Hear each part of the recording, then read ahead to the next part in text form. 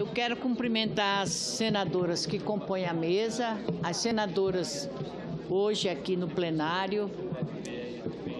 E queria cumprimentar também a todas as mulheres que estão aqui, cumprimentar as mulheres do meu estado, do estado de Sergipe, porque hoje é com muita satisfação que estou aqui ao lado de todas nós, de todas vocês, comemorando mais um 8 de março, Dia Internacional da Mulher.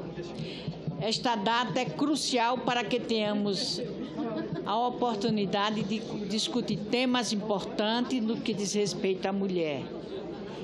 E o nosso papel como senadoras é estimular, incentivar e defender sempre a mulher brasileira a ser respeitada em suas casas, no mercado de trabalho e na sociedade. Já tivemos grandes avanços no decorrer dos anos, como a Lei Maria da Penha, que protege a mulher da violência doméstica, que infelizmente ainda é um pesadelo para 30% das mulheres brasileiras, conforme dados divulgados hoje pelo Datafolha. Hoje demos mais um passo importante, um passo importantíssimo contra o preconceito descabido que se manifesta no mundo corporativo. A CCJ aprovou na manhã de hoje um projeto de lei de minha autoria que defende um percentual mínimo de 30% de participação de, das mulheres nos conselhos de administração das de empresas públicas e sociedades de economia mista. A senadora Vanessa Graziotin foi a relatora do projeto, que fez um relatório excepcional.